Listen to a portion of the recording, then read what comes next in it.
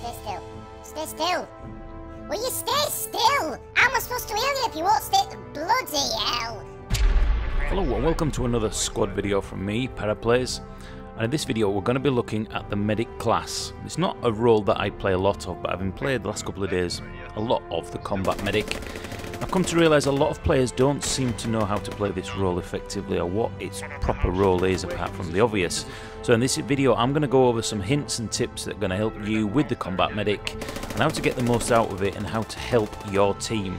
Because at the end of the day, in a lot of these games, the combat medic is the deciding factor in a win or a loss for your side. So let's jump in with the combat medic and I'll give you some of my hints and tips. Now there was a couple of people in gaming comms asking how you heal people as the medic, so this is really really quick before we jump into it. If you're injured as the medic, you can click your right mouse button and you must use your bandages before you use your main med bag. So I've used my uh, my bandages and now I am actually right clicking and I'm doing the Jedi hand and you can see the icon on screen. When that goes fully green, that means you are fully healed and back in the role.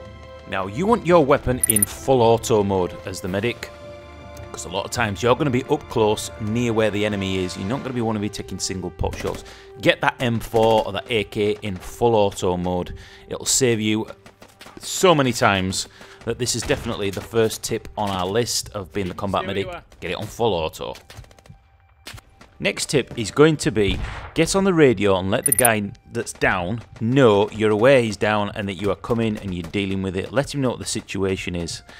A lot of times people, they die, they want to get straight back in, even though the medic is on the way to heal them.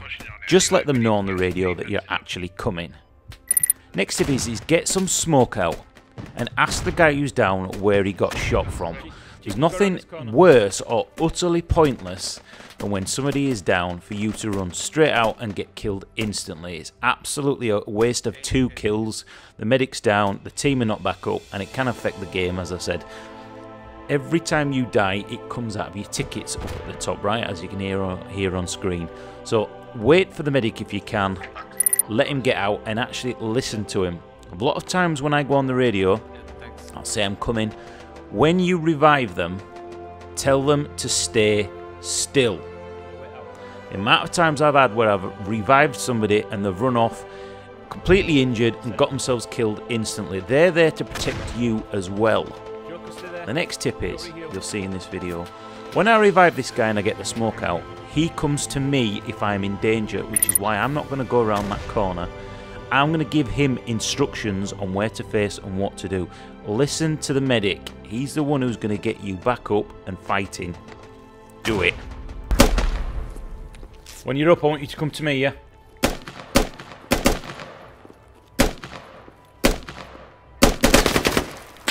The point of this is so that you both don't get killed while you're trying to revive the guy who's down.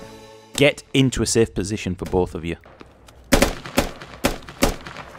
Joker, keep facing that corner. Joker, keep facing the corner. That's it.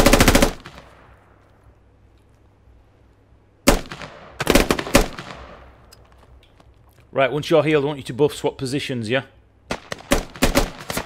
Go, you set? Yeah. Bartholomew, come here.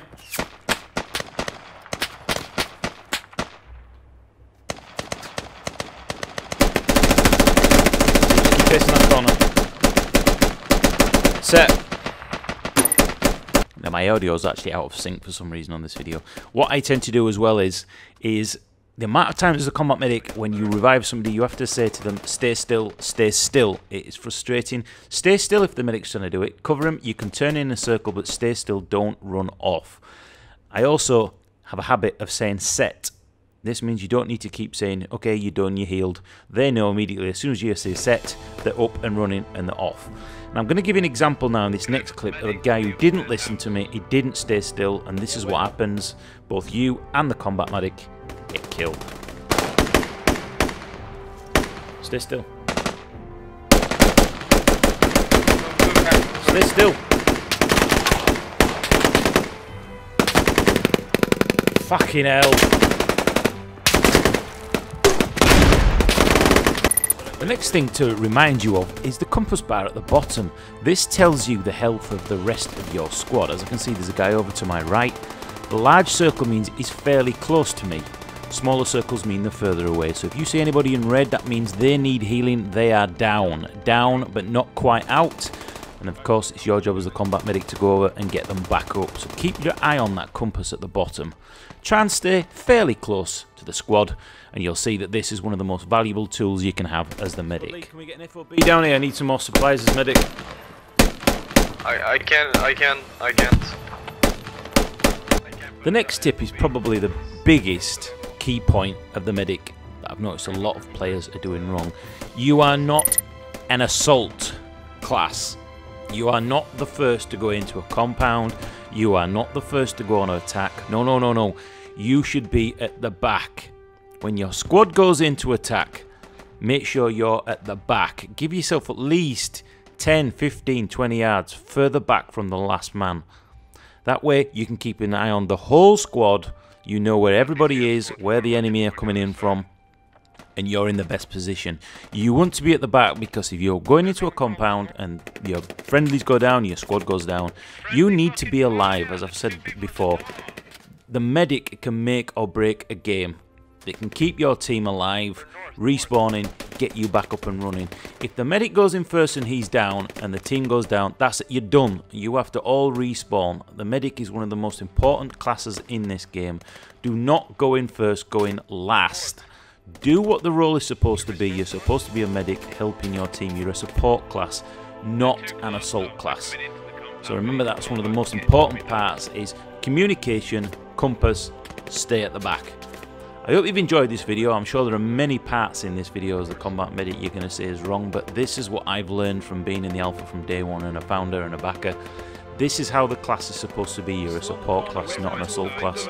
I hope you enjoy it. It's a, brilliant class when you kind of... Uh, sometimes you can go in and think, I just want a chilled out game, I want to help the team, but you end up being right in the thick of it. You actually have to think more than any other person on that team, barring the squad leader.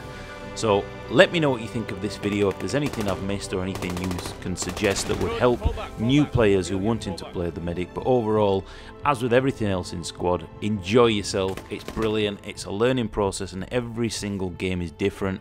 That's what makes Squad Squad and that's why we love it.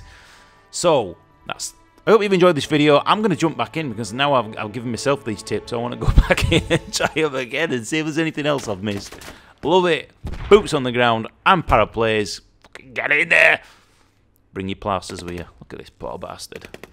See you in the next video. Bye-bye.